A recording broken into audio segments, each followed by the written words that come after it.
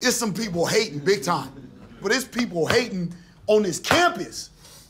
You are freaking African Americans plus Mark. You know what I'm saying? Which I'm rocking with Mark because Mark is rocking with us.